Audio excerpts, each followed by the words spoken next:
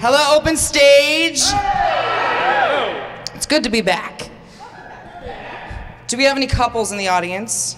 Yeah. Yay, that's what happy people sound like. I mean, like, come on, like, I drink like a Buick of beer a night, like the way my life is going. The only way I'm gonna get a boyfriend is if I go to prison. Yeah, I mean, it's hard dating these days. It really is, especially when you have a voice like this. Um, people always assume that I'm a female on the phone all the time. like, even at the drive throughs at like fast food restaurants, they're like, okay, ma'am, just pull up to the window. We'll have your total up there. And I always like I used to like try and like like argue with them. I'm like, no, I'm a sir. I promise, I'm a sir. And then this weird thing happened where they became embarrassed, and then I got embarrassed that they're embarrassed. So it was just way too awkward. So now I just go along with it. They say, ma'am, and I'm like, yes, that's me. I'm, I'm ma'am. That's me. That's me. And then, um, but now, like, and I have this weird thing about myself, like, where I lie, and then I get really nervous that I'm lying, and then I just overly lie, and it gets ridiculous. So um, I called to schedule my haircut last week, and I'm like, "Hi, uh, do you have anything uh, next Tuesday available for a men's haircut?" Uh, let me see. Uh, yes, I have something around three o'clock. What's the name of your husband? His name's Cody. My husband's name is Cody.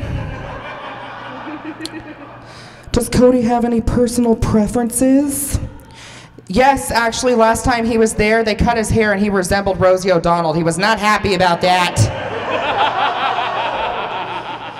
He's very specific about his hair. Oh, I'm so sorry to hear about that. It's okay, it's fine. He just gets very angry at me sometimes. I think he might have anger problems. By the end of this conversation, I was like, he drinks a lot and sometimes he takes it out of me and the kids. I'm scared. Call someone!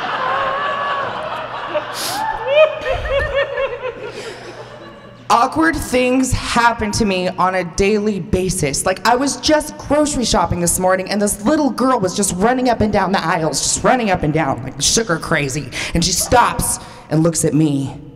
And then she looks at her mom and she goes, Mom, is that a boy or a girl? I knew at that moment I wanted to scare the shit out of that little girl, so I look back and I go, I'm both.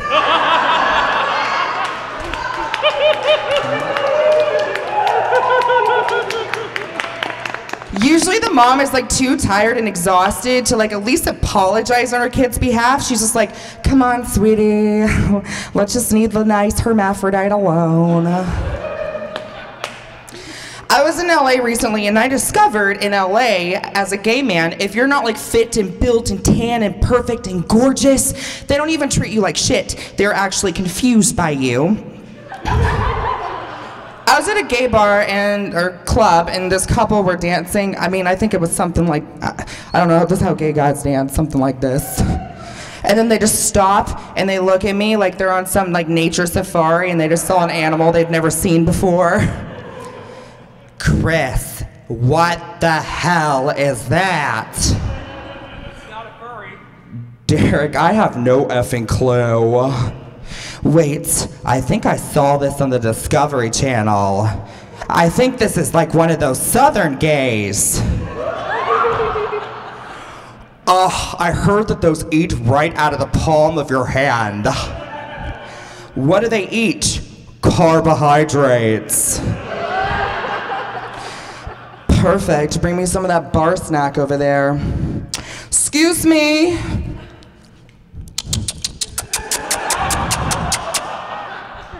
And I'm just left awkward. I'm like, hey guys, what's up? Oh, hell yeah, those croutons. Um, I'm gonna leave you guys with this one. I'm afraid of vaginas. I usually like to just like have a little silence right there just to see what happens.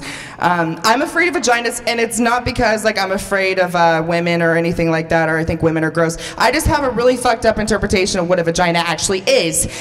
And it's all based off of things you guys have told me that goes on down there, like everything that goes on. Like, if I was to see one right now, and I don't know why a vagina would just appear to me, But if it did, I'd probably be like, okay, well, I, I guess that's where you have sex and babies pop out the same place and you get Wi-Fi there and those are the curtains you close up at night so the neighbors don't see you and somewhere stored all the shit is a bouncy castle. But I have seen a vagina one time in my life. My friend was really drunk and um, she thought it'd be funny to show me. And she lifted up her dress and it breathed.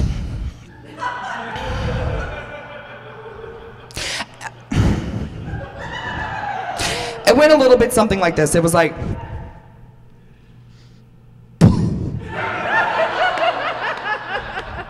Like it had a bad day or something. All right, that's my time. I'm Cody. Thank you.